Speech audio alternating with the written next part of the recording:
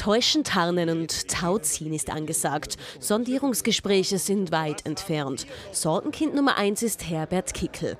Mit dem Chef der stimmenstärksten Partei will keiner koalieren. Klartext fordert der Bundespräsident. Prompt reißt die FPÖ das Zepter an sich. Einladungen an ÖVP und SPÖ für kommende Woche, die sind verschickt. Natürlich wird die Freiheitliche, insbesondere die Freiheitliche Partei versuchen, der ÖVP äh, nicht den roten Teppich auszurollen, aber doch die ganze Sache schmackhaft zu machen. Wie das Ganze ausgeht, können wir nicht sagen, aber grundsätzlich war die Vorgehensweise des Bundespräsidenten sehr elegant. Warum? Weil er den freiheitlichen Wählerinnen und Wählern signalisiert hat, ich schließe euch nicht aus, indem ich Herbert Kickl nicht den Regierungsbildungsauftrag gebe, weil ich hole euch hinein. Im Gegensatz zum Bundeskanzler. ÖVP-Chef Karl Nehammer wiederholt sein Mantra, mit Kickl kann er nicht. Das, was ich vor der Wahl versprochen habe, halte ich auch nach der Wahl.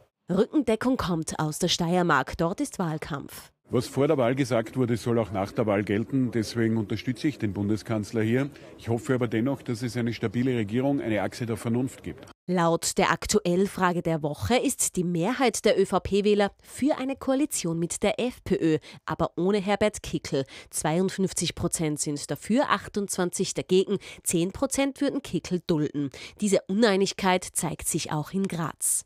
Es muss gehen. Ohne Kickel muss gehen. Ja, ohne wird es nicht gehen, ne? Ja.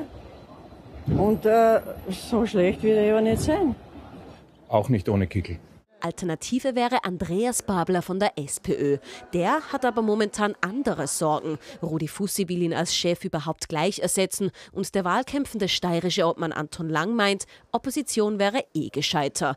Die Babler-Fans, die werden rar. Ein großer Erfolg wie ein, wie ein Misserfolg liegt immer auch am Spitzenkandidaten. Aber natürlich nicht nur, da muss man schon fair sein. Das Täuschen, Tarnen und Tauziehen der drei Sorgenkinder, das zieht sich mindestens noch eine Woche hin. Das ist die Deadline des Bundespräsidenten.